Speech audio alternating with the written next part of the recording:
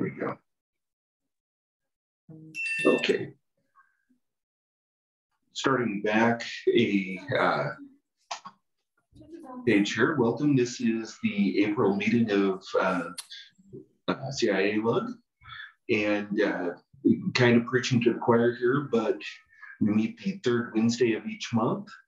Uh, so, as usual, if you don't feel well, I don't want to see you. We have Zoom for a reason. Or if, you're uh, one of those uh, folks from further than uh, uh Polk City, well, we, we still have Zoom for a reason. Now we've got email, Slack slash IRC, uh, at least when Mediacom doesn't uh, lose my internet connection. Still waiting for that fiber to come. Uh, very unhappy about that, but here we are. And then we also have uh, at least the parts of the meeting where people uh, agree to it, uh, recordings. So if you miss it, you can at least maybe not miss everything. And uh, since uh, our usual news person is gone, last night at about 2 a.m., I whipped up a few uh, things. And uh, the, the biggest of all, which I'm relatively excited about, uh, is that uh, Ubuntu 2204 is going to be released on April 21st. And what's going on with it. Well, there's an updated version of PHP, Ruby, Python, Golang, OpenSSL. I mean, all the usual suspects. Uh, we'll have kernel 15.5. I believe we've talked about that already, but uh, we seem to be getting some uh, blowback there from uh, somebody on the line. Uh, it looks like it's uh, somebody found this article and then we didn't capitalize like the. Uh, go ahead and oh, thank you. Never mind. Uh, anyway, yes. Uh, so kernel 15.5, uh, for those of you who haven't been paying attention to the exciting world of kernel development, I know I'm one of them.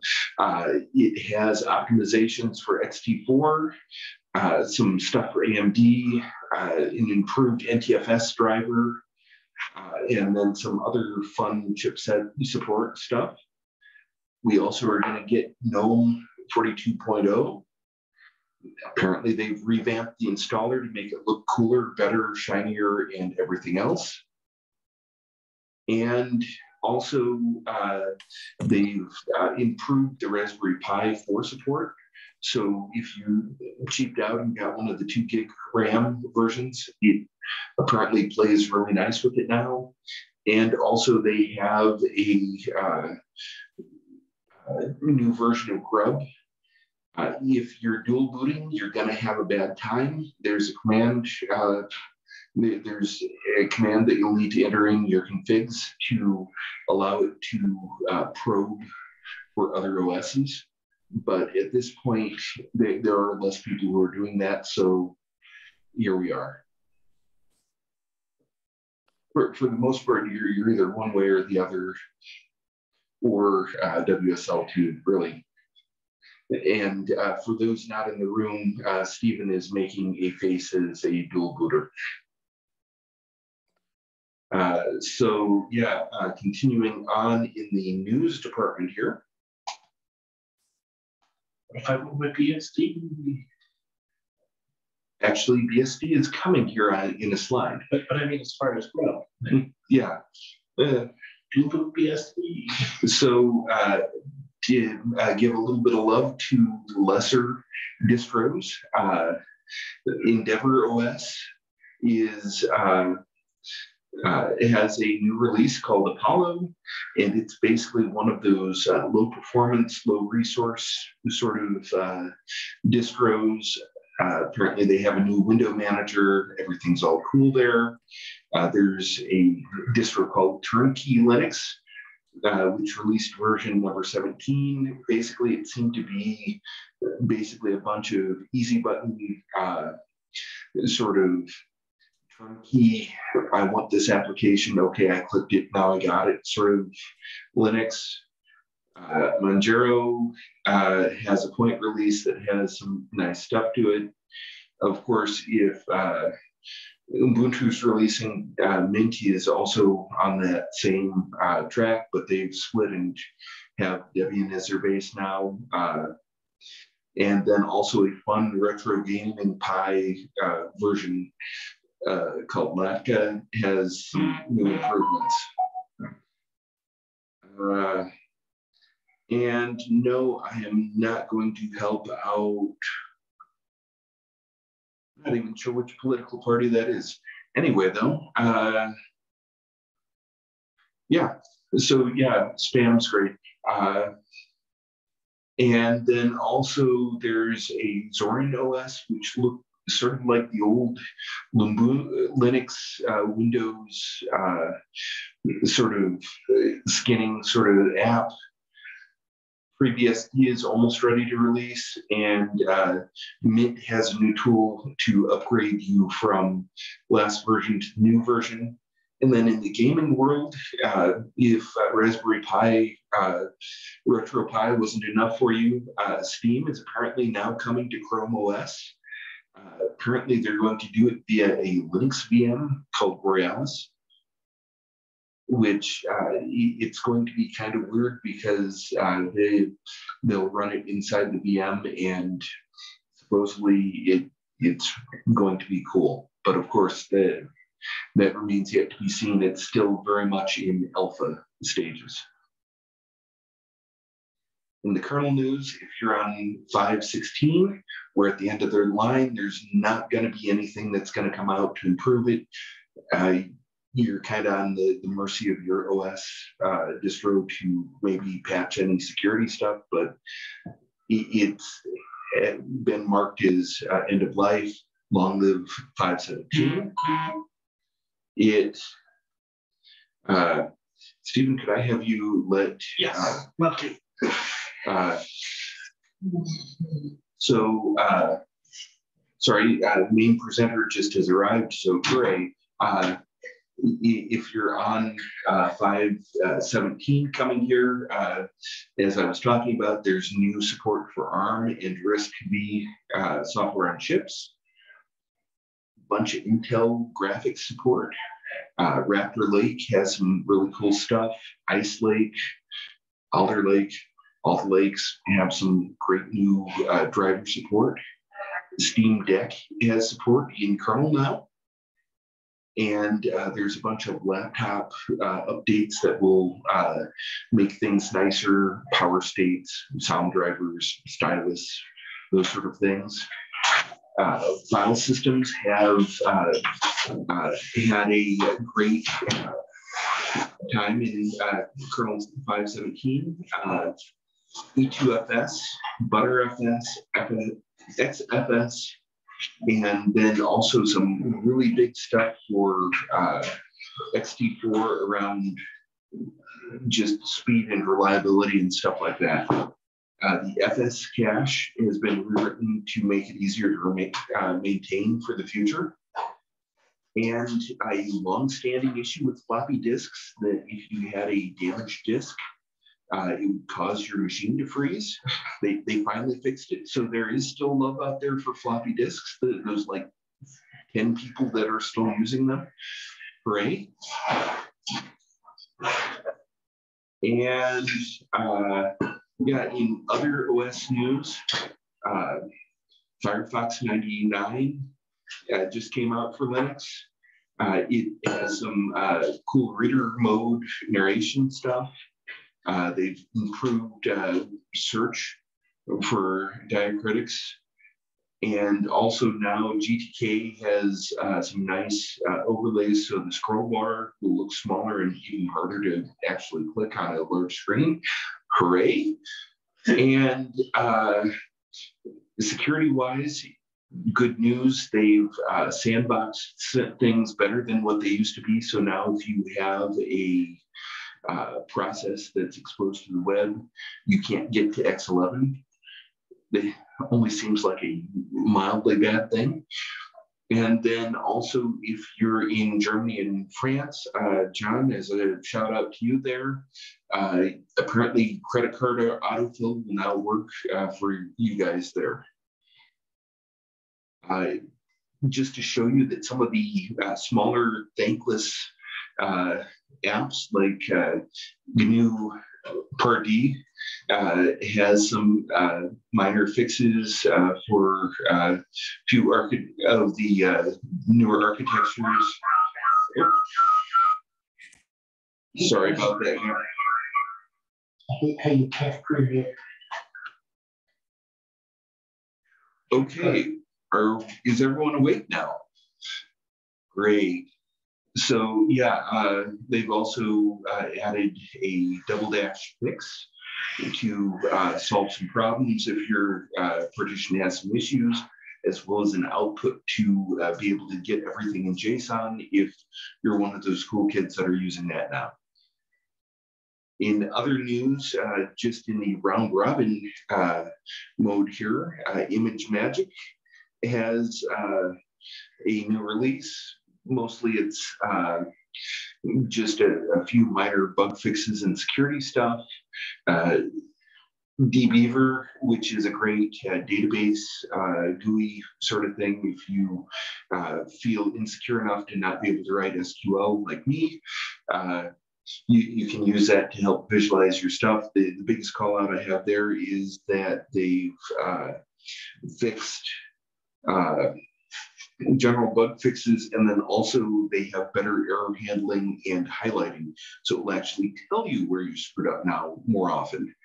Uh, ImageMagick, uh, like I said, there's some uh, minor bug fixes, GNU core utilities, uh, they're basically just small fixes because I'm not sure how you could make it much better than it currently is. It's been around for forever. Git, uh, it's basically just a big security uh, fix for a certain CVE that was out, as well as some minor other bug fixes. Uh, CMake, uh, just a security fix. Mutt, another security fix. Lynx now supports uh, WebP images in the graphical mode, DNS over HTTP, and external uh, handlers uh, now for Gopher. And then also some fix around uh, table, the, the TD HTML tags. I have notes in the, the slide deck here if you're really interested and want to dive into it. But just to show you that even some of these smaller thankless projects still have changes coming. And I, if I'd seen it sooner, I, I totally would have spun up Lynx graphical mode just to see how bad it actually is. Uh, but so anyway, though, um, as uh, my best announcer voice here, if Jared is ready to uh, take over here and uh, go into the main event, I can hand it over to him. And if not, I can totally stall for a few more minutes. I I am ready. I will not have my speaker notes, it looks like, but I don't know that I necessarily need those either. Okay. But I am going to exit out of here. Apparently speaker notes are not supported on mobile. Awesome. So I am going to make you as a, oh, okay, me make you- That looks like a laptop to me. I was gonna pull them up on here, so I have just the slide here, speaker notes here. I'm gonna try though to see if I go, like, co I'm gonna see if I go, uh, start slideshow and presenter view. Let's see. Oh, I can. I can do that. So then I can just share this window, maybe. Give me a moment and we'll see if this works. Okay, well, while you're still uh, playing there, I do have one thing to show off here. Uh, if I share my, never mind. Uh, Yes, well, while you're finishing setting up here, I have one one thing to show off here. The I, I do have a, a, confession. This is a Windows 11 uh, machine here, but uh, and apparently it's not presenting to uh, the people in the room here. But uh, I do have Xorg actually working on it. So from WSL2, they, there you can see my XEyes wow. is actually working and I believe I do have uh, Yeah, think. Uh, Racer Extreme actually does work after a painful fashion. Is it slow? It even has audio. Yes, so here you can see It looks. uh, that if you say, But yeah. Yeah, it's a lot better in person. so yeah, you, you can actually play Tux Racer on here. But uh, let's see here if I can figure out how to actually get out of this and stop this now that Jared is ready. And uh, it- is actually at uh, more real time speeds, but I have to use it. yeah, Yeah, okay, there we go. Maybe will it actually let me kill it? Uh, yeah, this is going to be fun. Uh, how do I make this go away? There we go. Okay. Everything's dead now. So yay. Uh, so yeah, I think I've uh, stalled now long enough with the the dog and pony show, and uh, we'll, we'll let Jared take it away here. So I have no idea how long this is, but it's not super long. Um, ZoneMinder uh, is the topic of conversation tonight. I, full disclosure, I do have a ZoneMinder instance that I run at home. And it's very annoying and I hate it. But I also kind of love it because it's really the only open source, freely available tool that comes anywhere close to doing what it does with any sort of workingness. Um, installation, I know we usually cover installation here as part of a lot of presentations. Um, I'm not. It varies a lot, even between uh, Debian and Ubuntu. Uh, there are significant differences to get it working. Um, last I attempted on each. So Google for it. There are some Docker things available. Um, if you want to install natively, uh, you're welcome to download the source code and compile it and install. That's usually the second best way to do it. The first best way is if you can find something native, uh, prepackaged for your distro. Um, out of the methods I have attempted, I have not attempted Docker. Um, I've heard mixed things about those because it sounds like the Docker stuff that's available isn't necessarily maintained very well. Um, so yeah, your mileage may vary. Getting it installed is properly with its little database and all that set up is probably the biggest hurdle. Um, fortunately for Ubuntu, my preferred distro, there are some PPAs uh, that are relatively updated and work relatively well. Um, what is it? It's open source CCTV. I put CCTV in quotes because it's not closed circuit television. It's literally a network TV, you know, so when you could call it NVR, then you get confused about other types of network video. But the general thing is is for internal IP camera type stuff. Um, you can do all sorts of different types of cameras and video sources. There are even apps for Android at least that allow you to use the camera and basically turning it into an RTSP stream. Um, it supports RTSP, it supports HTTP JPEG grabs, it supports uh, the ONVIF, which is the Open Network Video Interface Forum or something like that. Um, side note, ONVIF only works with the demo tools.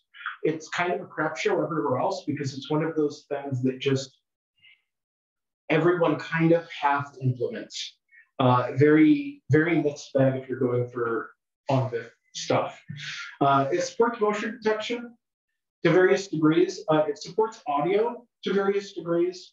Um, you can have it do like scheduled or event-based recording, different quality streams. Um, if your cameras support that, which a lot of the, the more professional POV style ones do.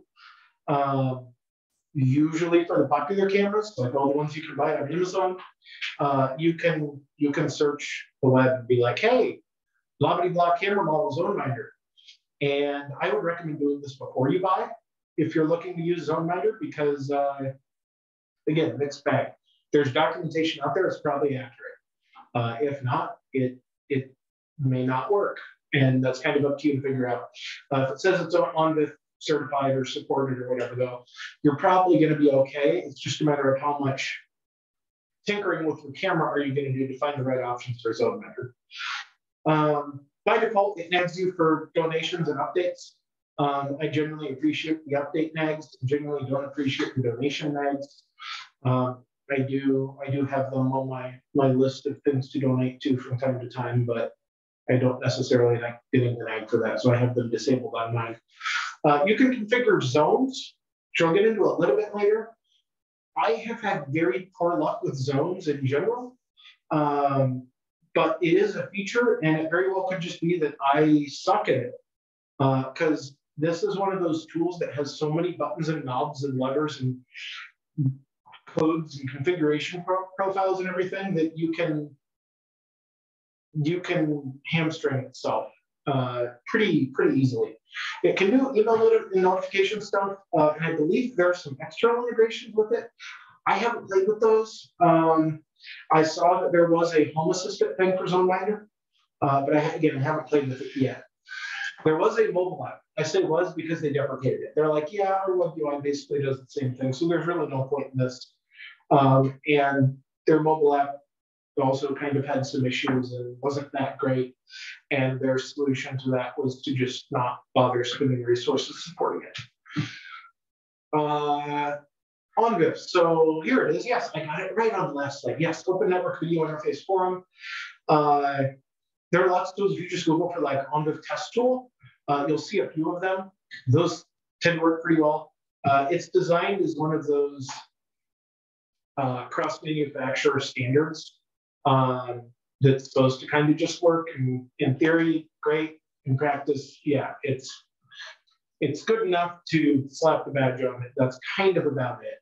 Uh, but the nice thing is usually if it supports ONVIF, that means it's using a standard RTSP stream uh, or similar that won't give you headaches like a, say, Flash-based stream. Uh, yes, I've seen those, they suck. Um, legal note, just, you know, I'm not a lawyer, I'm certainly not your lawyer, but we were in laws area. Um, side note to the side note is that audio and video recording are often treated very, very differently um, within a jurisdiction.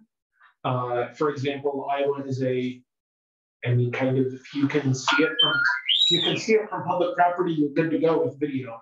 Um, but or from a public place. But if or from your own property, you you know you're good to go with video recording. But audio is is one party. So if you're recording someone's conversation and you're not a part to that, um, you potentially you're violating some laws there. Uh, do what you will. Uh, I, I'm not liable for your decisions, unfortunately, or fortunately, however you decide to look at that. Some screenshots of the UI. I've got a fair bit learned out here just just because I wasn't sure and I'm working in security, I tend to be a little bit overcautious about that. Um, the log file, you're going to need this. If you use ZoneMinder, you're going to need this. And if you don't, I'm entirely jealous of you. Um, it's kind of color coded. Uh, it changes colors based on how terrible it's broken.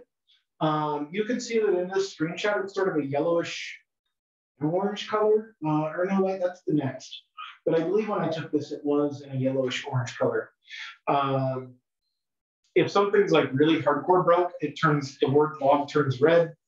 Uh, yellow is kind of iffy. And then there's like a, there are a couple different colors like green and blue that are various forms of okay. And I'm, I haven't dug into why it changes color, but I'm assuming it's something basic like uh, how many errors are happening per uh, pro time frame in the law. And I see we have someone chiming in with uh, legal something. Yeah, video expectation of privacy, which generally is uh, public errors. Okay, yeah, yeah, yeah, gotcha, gotcha. And then, ooh, what else do we have here? Do we have anything else I missed that I should be noting? Andy's pulling up the chat for me. Ooh, so, uh, oh, outside of one home. So you might be okay in your home. Okay, cool, cool, cool. Was that applying like phone conversations inside your home? Uh, so potential, well, and so with phone, for example, you're a party to the conversation if you're recording your own phone call. So generally in Iowa, you're free and clear, but again, not a lawyer. That's just our, Don't, don't record your neighbors. our interpretation. Yeah. So if you have a camera that is outside recording audio and you happen to pick up a neighbor's conversation on their own property, you might be stepping into some hot water there. Um, so yeah, just just something to be aware of. Uh, as far as other tabs, so here's one of the other tabs. Oh, and in this one, you can actually see the log tab is that yellowish orange that indicates it's not really happy, but it's not completely angry either. Um, console is a really good landing page. If you're going to bookmark your zone ZoneMinder instance, I would recommend this one because it's the quickest to load uh, while still being relatively useful. Um, you can see here, I have one, one camera that I still have configured, but disabled, uh, entirely disabled. There are actually two different ways to disable a camera. You, even if you tell it disabled, it's often not. You're only disabling, I should have researched this. You're disabling, I believe it's the, uh, the event triggers, but you're not disabling the feed or something like that. You actually have to change the mode to disable this. Like if you want it to not be filling up space and not be trying to record, not be throwing error, errors in the log, you actually need to change the mode of it. And that's why this one says non-disable, because it could still be set to record mode disabled, and it would be throwing all sorts of errors because the mode is still trying to record, even though it's disabled. It's weird. In my opinion, it's a bad UI thing, but the zone ZoneMinder devs are just like, yeah, that's that's operating as designed. Um, and here's why. They do have an explanation for it. Um, it kind of shows the overall config. Uh, if I didn't have them blurred out, you can see all the IP addresses, the names that I've given the cameras, um, and all that sort of stuff. You can also see that I did not blur out how many events they have and how much space they're taking up. Uh, this is actually running off a single one terabyte laptop drive which I'm sure is a contributing factor to some of the issues I've had. I do have some uh, more hardware on order to be able to expand this to about four uh, drives instead of that one, which should help further. Uh, and this is a dual Xeon processor server, so it should, and with like 32 gigs of RAM, I think, so it should have plenty of uh, oomph to be able to to handle it uh, but it still definitely struggles. Uh, you from here, you can click pretty much anywhere you need to go for day-to-day stuff. Click on the, the name, and it'll take you to the camera. Click on the function, and it'll take you to the spot where you edit the functions. Click on the source, and it'll take you to where you can edit everything about the source. Click on the events, and it'll take you to all the events for that. Um, and then click on the little number of the zones, and it'll take you to configure zones. Here's montage. Again, not want to show everyone publicly my, my exact camera angles and all that, so I have blurred out the actual pictures. Those pictures are actually really crisp. Uh, those two in the screenshot are actually both five megapixel cameras. Uh, and, it, and it shows plenty. That's, uh, what is it, a horizontal resolution? Uh, no, vertical, whatever the one that's pure uh, is 1920. So instead of 1920 by 1080, it's something like 25 something around there by 1920. Uh, it shows you live video in the grid format is basically what the montage does. Uh, and that's kind of all there is to it. You can see some of the stuff up top. You can configure like uh, the layout and whether it's like a, a two by two box, which is generally what I have, or whether it's you know three in a row, whether it tries to auto scale, which can be useful or detrimental for mobile, kind of kind of depending. Um, here, let me move this little guy out of the way. You can see that corner just a little bit more. Um, still have all your, your status and everything there. Uh, the cycle slash montage review. Uh, if you have it set cycle, it's it's just that. It's like on some stores that you see, you walk into, they want to scare you or whatever to not steal anything, and they just have it showing one camera for a few seconds and then another camera for a few seconds. That's the cycle. Uh, the montage review it's basically what it sounds like. It's the montage view, but it's for recorded footage. It's not live. It's the pre-recorded stuff. And you see you've got your scrub bar there and all that. Um, again, love it, hate it. Uh, I find that trying to use this scrub bar to review footage is a nightmare because it just can't load it fast enough, regardless. And I've used it with SSDs as well, just for testing, and it it's more or less the same deal. Um, it it is what it is. It's better than nothing, and it's it's the most fully featured open source thing that I've found. Uh, but what's the saying? Here be dragons. Uh, here is the tabs or groups filter, uh, or the tab, the, the group slash filter. Uh, do, do, do. I may need my notes on this. Oh, this is right. I these asterisks mean I have done almost nothing with these. Um, so I'm not going to speak to them a whole lot. I have not found them to be useful for my limited use case, and I have found it to be scalable to the point that I, I would really make use of these unless I had some really, really powerful hardware to throw at it. Um, and a lot of ground that I was trying to, to cover, uh, physical ground. Uh, so groups can organize things. You can put things in your groups, kind of self-explanatory. Filters are less self-explanatory. They are effectively, I would call them more a macro almost. They can they can perform actions based on criteria. So one of the filters that I have set up um, when my drive gets to, I think it's 90% capacity, it deletes the oldest like 10% of footage to drop me back down to that 80%. So my, my drive is always between 80 and 90% capacity, um, sort of rolling rolling footage. And that's that's how you keep it, or that's how I keep it from filling up, uh, because it doesn't necessarily support a straight rolling record like a dash cam or something. Um, which when you think about it, might be kind of good. I mean, it'd be nice if you could set a threshold rolling record, but you wouldn't want it to just straight fill up because now if that's also your root drive, your operating system, well, that that leads to some issues. Ask me how I know. Um, I've, I've made mistakes, okay? And I've learned from them. I use a filter now. I think we've all been there. um, the options tab is also kind of self-explanatory. Lots of options, lots and lots of options. Uh, if I were to attempt to put everything you can get to from the options tab on a screenshot, you would be able to read absolutely none of it. Um, each of these little blue links on the left has generally at least a scrollable page worth of stuff. And you can see that in the screenshot, the scroll bar, how big it is and how far up it is. So like, yeah, and that's pretty typical for the options pages. Um, a lot of under the hood stuff, so you probably change once, forget about, and then when you go to redeploy it, you going, what the F was that? Um, unless you've registered your pet for one of my other talks um, or otherwise documented it. Um, generally, it's system-wide stuff too, right? Because anything that's going to be camera specific, you're going to want to get to from that, that console uh, tab that I showed earlier, because that's where all your camera specific stuff is. So this is really, I think, pretty much entirely system-wide. Um, zones. And notice a little bit of snark here. They allegedly provide uh, some enhanced detection, motion detection capabilities. You can see a little sliver of the screenshot. Again, uh, I'll show some more on live demo, but I didn't necessarily want it on YouTube for all, all eternity. Uh, the camera angles that I chose for these that are physically mounted in my house because it's a little bit of work to change those. Um, you can see on the left, there's a little sliver part of my fence, and then there's like that red triangle.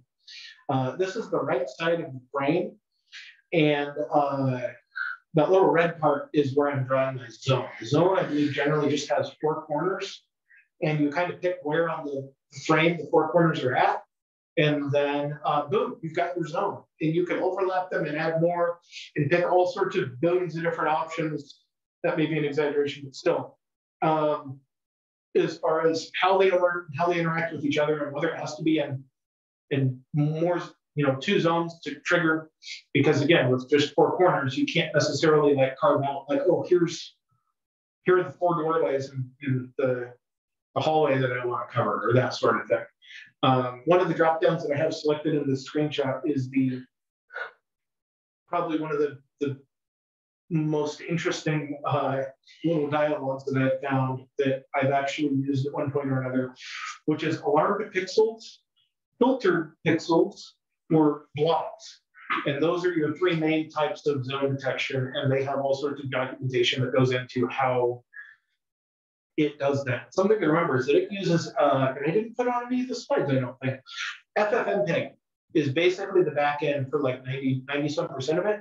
And basically all of the intelligent stuff, right? The motion detection, the uh, zones, all that stuff is just straight FFmpeg calls, if I remember correctly. Uh, so even if you're using a different method to actually uh, get the video from your camera, uh, it's most likely going to be FFmpeg that's doing your motion detection and zones and all that stuff. Um, here are another part, couple partial screenshots that I, I was willing to, to share is that uh, the, the two most common issues I've had uh, and that lead to most of my complaints and frustration are image distortion. As you can see here, uh, this is courtesy of, I'm not entirely sure what. Uh, a lot of times, very similar to this, not quite the same, usually a little bit more pixely and a lot of green, is an FFmpeg issue. Um, this particular issue may actually be related to the camera because generally when I see issues with ZoneMinder, I pull up VLC uh, in a GUI on a different machine and it loads perfectly fine. Full video stream, audio. Um, because I buy the cheap cameras, the audio and the video aren't always exactly lined up with each other, but they're both there and they're both working.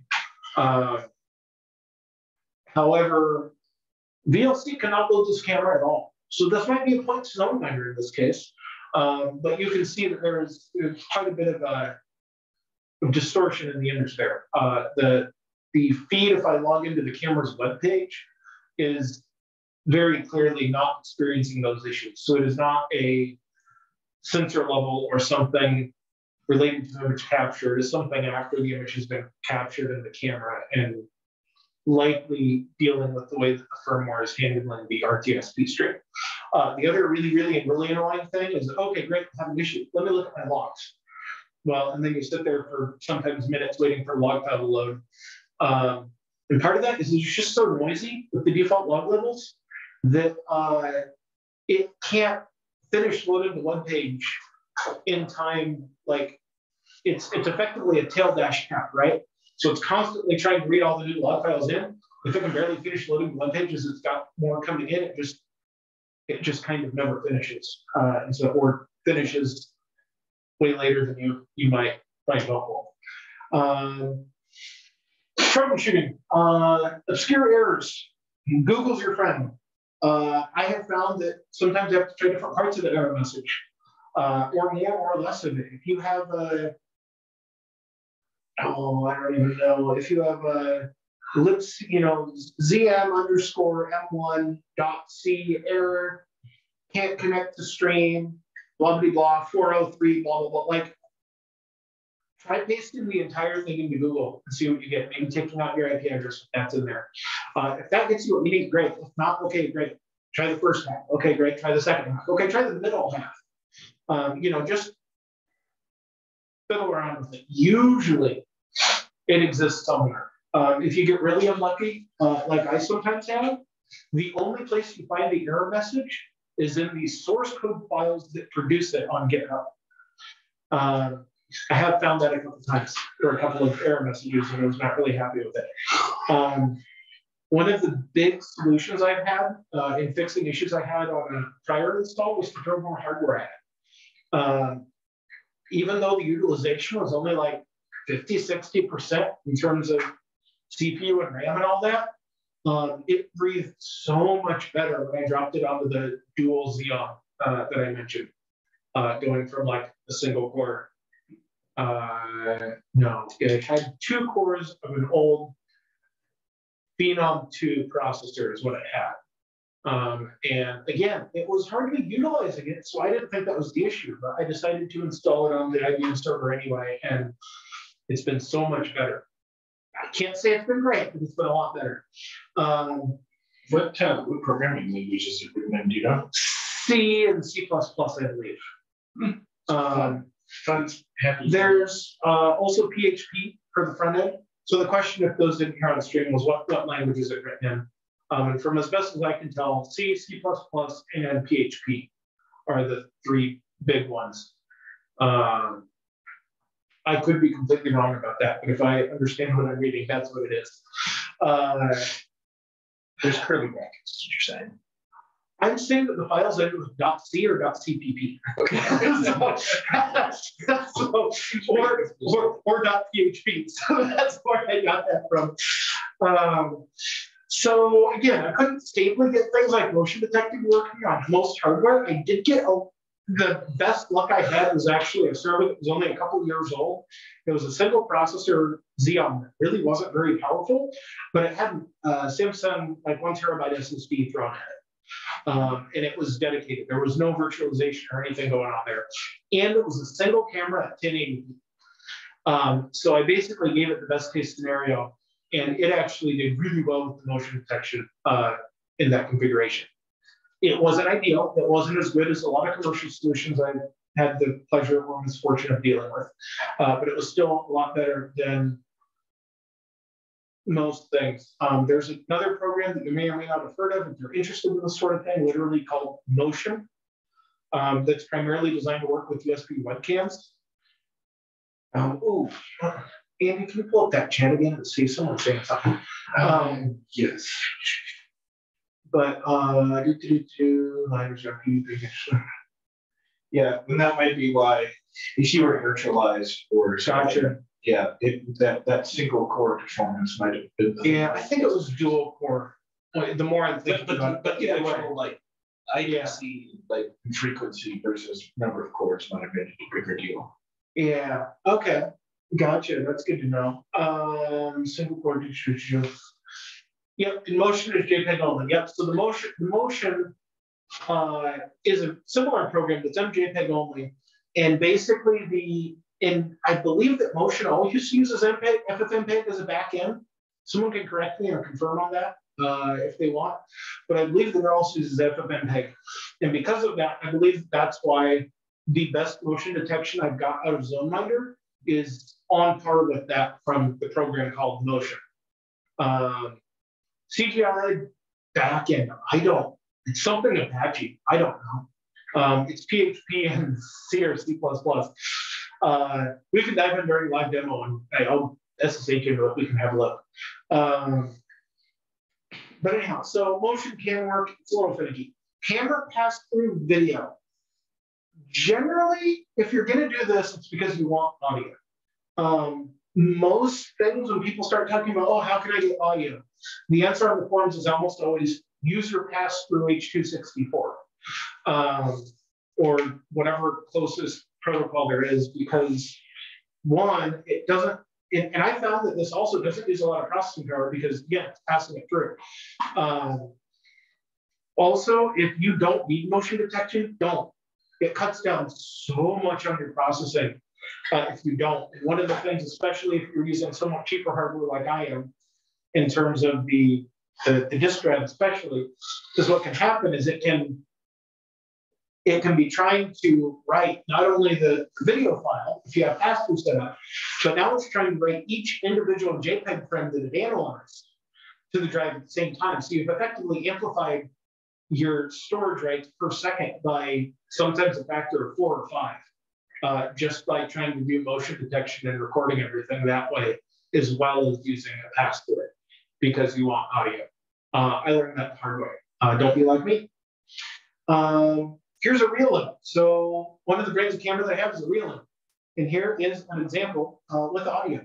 And I did not blur anything, I don't believe, on audio, just a tiny bit. Um, but most of it, I just changed the uh, stuff. So like that source path is a fake IP address and username and password. Uh, but otherwise, that is legit. Uh, I literally just replaced those couple parts in the, the spots with fake data so I could take a screenshot of it and then hit the cancel button so I didn't break my stuff anymore than it's already broke. Uh, all the rest of these settings are exactly as they appear in my system right now. Uh, using the source type FFmpeg, um, using the pass-through, using the uh, color space, resolution, TCP, RTSP, H.264 camera pass-through, not saving JPEGs, um, etc. Uh, also, somewhere in here, I don't remember where it was, uh, is the option to set how big you want your file to be. So I have mine doing, no, I think it's 10 minute intervals, minute loops. You can do kind of whatever you want. Um, I think you give it a number of seconds, uh, if you're doing like I do, where you're just straight recording and then looping. Um, because for my use cases, that's really all I need. Um, the function there then is just record, which means it's not trying to do any fancy whatever else. And this is where I told you, you know, you need to both, if I wanted to disable this, I both need to change that function to none and uncheck the enabled button. Uh, source type, FFmpeg. Here's where it gets a little fun and interesting. It supports a bunch of different source types, um, including VLC. Uh, so VLC's command line interface, sometimes the stuff isn't working with FFmpeg because FFmpeg is interesting. Um, to say at least, if you've ever dealt with it, you might have experienced that. I know that I can never get FFmpeg command to work unless I'm copying and pasting. Um, but that's because the documentation is like, well, here's the source code. My gee, thanks, I'm not a programmer. Um, I'll go on forums and just copy and paste all sorts of code until it knows what I want. Uh, yay. Uh, so anyhow, VLC, uh, libVLC specifically is one of the source types. There's also straight JPEG capture, uh, which can be useful for some of those cameras. Like if you wanted to, you could put your ZoneMinder install at whatever that, uh, the DOT cameras website or the DOT snowplows website or any of those and just capture their JPEGs automatically every X amount of time. And basically be NVRing um, someone else. Like and that's where this being really cool and awesome comes in. Uh, the getting all the options set up and getting it to do what you want without swearing is where the so the I hate this. I could record like all the eco cams from the. You yeah, if they've got a web feed for it that gives you JPEGs or RTSP, then yeah, you should be able to record it from your your home zone ZoneMinder if you wanted to. Um, demo time. If we are good to go ahead and yeah, are there any questions that we want recorded? I don't, okay, you have RTSP. Is that a question? Well, that's smiley face. I did not know that they had RTSP strings. I knew that they had JPEGs.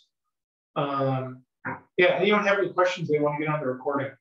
Feel free to ask now. Otherwise, we'll stop the recording and I will attempt to VPN into my home stuff and get us a demo. All right. Okay, comments going once, going twice. So, So